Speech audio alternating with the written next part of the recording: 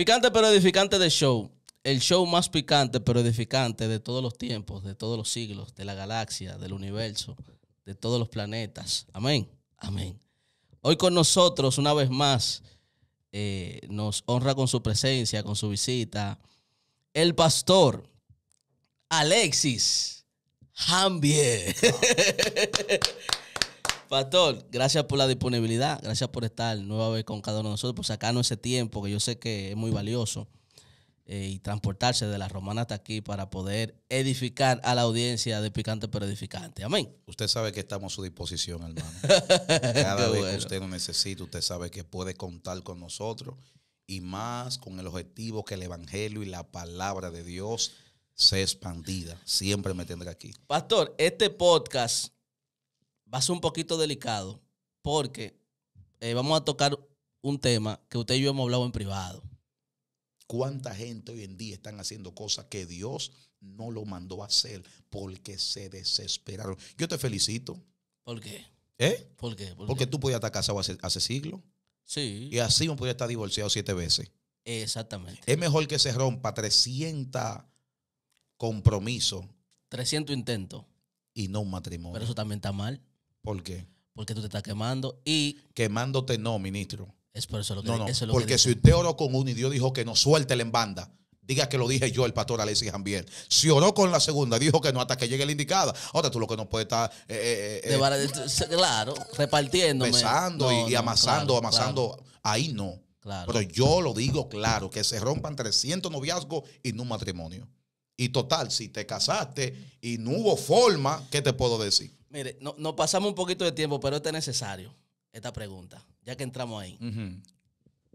Hay una presión en la juventud por, por el matrimonio, la cual yo renuncié a ella hace un tiempo y he decidido... Ese es otro tema para poder darle, para poder darle, pero a la pregunta, pero es otro tema. Es otro tema. sí, sí, porque hay mucho yo ahí. tengo muchas cosas Sí, que explicarte tiene- de eso. tiene mucho ahí, es Lo verdad. primero que yo no acepto dos años de noviazgo. Ay, mi madre. Vamos, vamos a guardar eso para otro podcast. Vamos a guardar eso para otro podcast. En dos años de noviazgo usted la preña.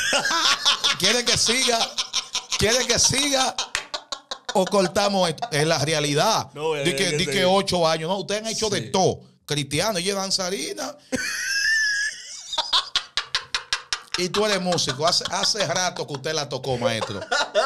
Hace rato que ha como 300 veces. ¿Qué? Sí. No, eso no pasa. Ah, Ok. ¿Qué? Vamos a dejarlo por otra entrevista si tú quieres. O, o- o quieres que sigamos creciendo. Ok. Ocho años de noviazgo dentro de la iglesia. Pero escúchame la pregunta, para pa, pa, pa, Tai, en esa sintonía. Ahora mismo, el índice de divorcio dentro de la iglesia es impresionante.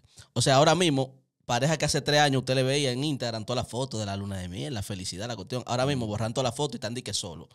Y quitan del estado eh, su estado de matrimonio, su anillito, que ponían todo eso. Pero yo, yo podría abrir mi cosa y encontrar más de 10 personas. El índice de divorcio en los jóvenes es impresionante. La mayoría de los jóvenes que se están casando no llegan a cinco años de matrimonio.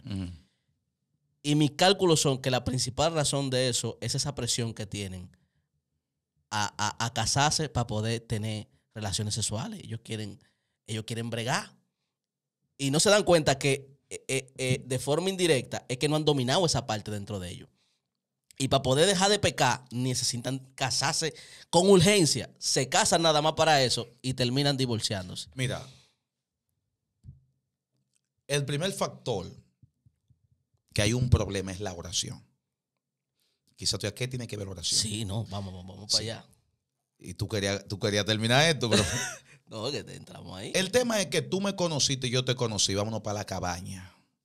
Sí, ¿Cómo así? Para la cabaña. pero eso no está Y pasando. pongo la canción de Roche, ella quiere que la choquen, que la choquen, que la choquen. No, pero eso no entre los hermanos. sí, Explica- sí. Entro de la iglesia. En ti- ¿Por qué los matrimonios de 10 años atrás duraban más de los de ahora? Pato, la, la gente va a decir en los comentarios que usted está dañando el evangelio No, diciendo no, eso. no, no, esto es una realidad. Pero como quiera, ellos ¿Sabe dicen que ellos, van a decir, tiempo- ellos van a decir que usted está dañando el evangelio. ¿Tú sabes cuánto yo, me metí, cuánto yo me metí con mi esposa? Para, para poder Dios confirmar. Siete días de ayuno. Ella ayunando por otro lado. ¿Cómo? Para vernos, yo tenía que ir a su casa y hablar con ella en el patio o en la sala, a una distancia. Escúchame. Orando para que Dios revele. Mm. Hoy en día yo te conozco a ti, tú me conoces a mí, vamos a majar de a duro. No hay oración. Hay gente que supuestamente son novios, son marido y mujer. Porque hace rato y este pedazo sube lo que una realidad. no, no lo puedo subir. Vamos a dañar el Escúchame, escúchame, es que es una realidad. Antes de llegar al casamiento, yo debo de orar. El noviazgo es un proceso para conocerse. Pero muchos están utilizando el noviazgo para comer yaniqueca con huevo. Para comer tapado. Aquí en la capital, ¿saben lo que es eso? No saben, explíquele. Bueno, es yaniqueca. ¿Sabes lo que es yaniqueca? La yaniqueca. Con huevo adentro, otra yaniqueca, cachú y, bayonesa y a comer. Es como una empanada de salma. Otros están utilizando el noviazgo para comer pizza.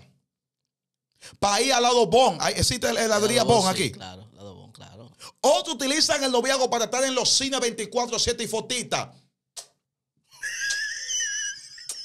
Para eso están utilizando el noviazgo. Sí. El noviazgo no es para estar comiendo pizza 24-7. Ni para estar comiendo helado 24-7. El noviazgo es un proceso para conocerte. Por eso hay gente que van al matrimonio y el hombre, a mí no me gusta eso, yo a mí tampoco. Y hay, porque nunca se conocieron. Wow. Nunca se sentaron a coordinar cuántos hijos vamos a tener. Tú me amas o no me amas. ¿Qué es lo que me gusta de ti? Tus ojos, mi vida. Eh, eh, wow, mi amor, cuando veo tus labios, no se sabe nada. Entonces, ya no se ora para comprometerse. Y antes de, orar para que Dios revele, otro proceso es comprometerse. Hoy en día yo veo novios que se meten a la casa de la novia y mamá y papá se van y ellos se quedan en la habitación solo ¿Qué diablo tú crees que están haciendo? ¿Orando? ¿Orando de qué? Leyendo la Biblia juntos. ¿De qué Biblia tú me estás hablando a mí? ayunando. Eh, ¿Ayunando de qué? haciendo silicio. ¿Cuál silicio? Ministro, hay un problema y hay un desenfreno serio. Entonces, ¿cómo los matrimonios de hoy van a durar? Es que ya él descubrió América. Sí. Duró dos años descubriendo América y ya se cansó de esa América. Y ahora di que el mismo tipo, ¿y qué papel yo voy a hacer? Di que, di que, virgen en el altar. ¿Cuál virgen? ¿Cuál virgen? Se comió el bicocho antes de tiempo. Se comió el pastel antes de tiempo. Entonces el tema es orar para que Dios revele. Esta es mi esposa. Mira mi esposa. Hemos tenido batalla. Sí. Discusiones. Ella dice ajo, yo digo limón. Ella dice cebolla, yo digo que no.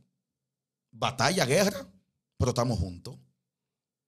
Cuando tu matrimonio es aprobado por Dios, habrá batalla, habrá dificultades, pero siempre van a tratar de buscar la solución. Sí. Entonces, la conociste, porque hay una chamaquita que tú la ves en las redes, que es apariencia y bulto, pantalla. Entonces, qué hermosa, qué linda. Y foto, tú la ves en foto en lugares especiales, en lugares, pero no respetan a mamá. Son una diabla. No saben ni freír un huevo no saben ni bañarse bien. Y tigres también que son unos bulteros, que buscan los tenis prestados del primo para ponérselo, para tirarse la foto en las redes. Entonces, yo no entiendo a algunas jóvenes, porque si tú sabes con el que te está casando un chuletón carnal, desde la primera vez que te vio, te dijo, ¿qué es lo que contigo? Dame luz de ti. ¿Cuándo vamos a salir? Tú sabes un carnal y decidiste salir después te casa, el diablo avisa la guerra. El diablo no. Pero yo le puedo decir también, pastor, que en este tiempo ya no hay tanto tigre. Ahora hay más tigres. De ambos lados. Hay, hay mujeres que andan muy duro, pastor. Pero el tema es que como creyente que somos, hay un protocolo. Hay un protocolo. Tú me conociste. Por más buena que tú te, va a morar. Porque Dios revela. Es, ese es el protocolo que utilizaban antes. Yo vengo de esa línea. Vamos a orar para que Dios revele. Oramos, nos tomamos el tiempo de oración. Sí. Wow, Dios reveló, amén. ¿Cuál es el próximo paso? Comprometernos. Nos comprometimos, ya comprometido, tiene que saber que tú no me va a durar dos años y tres años de amores. Ya usted está comprometido, ya pueden salir juntos a la pizzería, un helado, pero vaya trabajando para que en un año lo máximo usted se case. Claro. Porque el diablo se puede meter también. Eso es todo. Pero el problema de hoy, Félix, ministro Félix, que ya no hay oración. Porque el primer factor para tanto divorcio es la falta de oración para que Dios revele. Porque por más bueno que esté el hombre, Dios tiene que decirte si es o no es. ¿Cuántas mujeres cayeron en gancho de aquel lado? Sí, cayeron muchas, sí. Que desde que el tipo consiguió su papel de aquel lado, la soltó. Ahora te voy a decir algo. Usted y yo que hemos ido para esos lados, sabemos que también esas mujeres están más desesperadas que el que, que, que, que Satanás por conseguir un marido. Esas mujeres están buscando. Y predicador que va por ahí, ya tú sabes. Mira, tenemos que hacer un video hablando de la desesperación Sí. y del noviazgo. Sí, Son sí. dos temas diferentes. Mira la desesperación que cometió Abraham, que hasta el sol de hoy se está sufriendo. Pero ¿quién lo impulsó? Sara. Abraham, Dios se olvidó de nosotros. Dios nos dijo que nos va a dar un hijo, pero Dios como que no se acuerda. ¿Y qué tú opinas, Sara? No? Que hasta Agar, agarra a Agar, métela para el cuartico y castígala. Bum, bum, bum. Eso es de Dios. Dijo Abraham, la llevó, la embarazó. Nació Ismael. Bueno, mi hijo se llama Ismael por el nombre. El nombre Ismael significa Dios escucha. Nació Ismael. A los tres meses o cuatro meses ya sale embarazada Sara. Ahora los dos son hijos de Abraham. Tanto Isaac como Ismael. Pero el de la promesa, ¿quién era? Isaac Isaac. y son hermanos. Hoy en día, ¿quiénes son los que están en discusión y matándose? Todo el pueblo árabe, todo el pueblo árabe pertenece a la línea de Ismael. Y el pueblo de Israel pertenece a la línea y a la genealogía de Isaac. Cuando tú verificas y analizas, son dos hermanos. Todo el- no, que yo voy a Israel. Sí, pero el pueblo árabe también es de Dios. Sí. Son hermanos que están peleando por una desesperación. Mira, que, que, eh, oye, eh, está siento la presencia de Dios porque literalmente es una reproducción de un conflicto familiar a alta escala. Es lo que tenemos. Una desesperación provocó Sí. todo esto. Wow. una desesperación. Entonces, yo, no, que es el pueblo de Dios, sí, y, y- y los palestinos, ¿quién son? Del diablo. Sí, eh, Dios eligió a Isaac como hijo de la promesa, pero el pueblo palestino es hijo, es hijo de Dios, le pertenece Sí, a Dios. Sí. Entonces, hay una balanza. El pueblo de Israel, el pueblo de Dios, eso es indiscutible. Pero Ismael, ¿de quién es? Él pidió nacer. Él le dijo a Abraham que hiciera lo que hizo. No, entonces Dios le dijo a Abraham, yo sé que tú lo amas. Abraham amaba a Ismael, su primogénito. Yo sé que tú lo amas. Pero el del propósito, este, este es Isaac. Ahora, Dios tiene propósito con los palestinos y con el pueblo árabe también. Sí, sí. Fíjate que el pueblo árabe, Dubái, toda esa gente, esa gente Oh, son pero extremadamente billonarias. Claro. Pero la tierra realmente que fluye leche y miel es la de Israel. ¿Pero qué culpa tienen ellos? Ninguna. Fue una desesperación. Hay desesperación que nos va a costar problema serio. Pues yo te felicito. Espera lo que tenga que esperar. No ha sido fácil. La yo sé que, no- presión yo de sé que es que olvídate de la presión. Al final, cuando yo me casé, la gente, no, que cásate. Nadie me llevó una leche de una, un- una, una leche. Óyelo. Nadie. Óyelo ahí. Nadie me dijo, aquí hay tres fundes pamper. Nadie me dijo, mira, ¿cuánto tú pagas de casa? Aquí yo tengo un pagaré. La gente siempre va a hablar. Ujú. Pero a la hora de actuar, nadie va a actuar. Tu bolsillo lo conoces tú. Tu problema lo conoces tú. Tus deudas lo conoces tú. En lo que llega la indicada, síguete preparando. Y dile a Dios, somete esta carne para yo poder serte fiel. Pero espera en el Señor. Y Él te entregará la victoria. Y te estoy profetizando hoy mismo. Sí. Porque lo que el Señor te va a entregar será poderoso. Incluso tu matrimonio, tus hijos serán poderosos. Yo veo un Félix de aquí a dos años más en otra dimensión. Sí, y el sí, 2024 puedes recibirlo, ser un año glorioso para ti. Sí, sí, sí, Dios sí. te va a sorprender. Dios te va a levantar. Y veo, veo un auge en el espíritu. Incluso yo veo la mano de Dios encima de ti como ministro, como predicador y Sí. como esto que tú estás haciendo. Vienen ofertas y Dios te va a sorprender. Así que olvídate del que dirán, que la gente siempre va a hablar. Termino con esta anécdota. Hubo un hombre que iba con su esposa y con su mujer. Perdón, con su esposa y con su hijo, agarrando un burro. Y la gente dijo, mira qué estúpido, qué loco. Ajá, sí. Pss, En vez de yo subirse en el burro, mira cómo yo están y que, y que el burro a pie, eh, eh, solo. El hombre agarró, se subió en el burro. Y el niño y el esposo iban agarrando.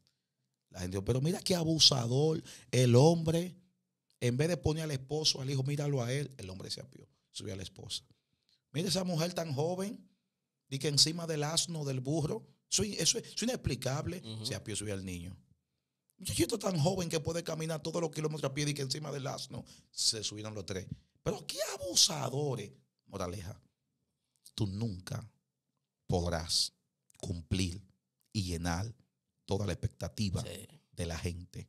Por eso yo aprendí a hacer lo que Dios me mandó a hacer y banda para todo el mundo. Sí. Séale fiel a Dios, busque de Dios y se acabó. Sí. Dios te bendiga. Suscríbase a este canal, manténgase activo a todo este contenido. Esto es picante pero edificante. Bendiciones.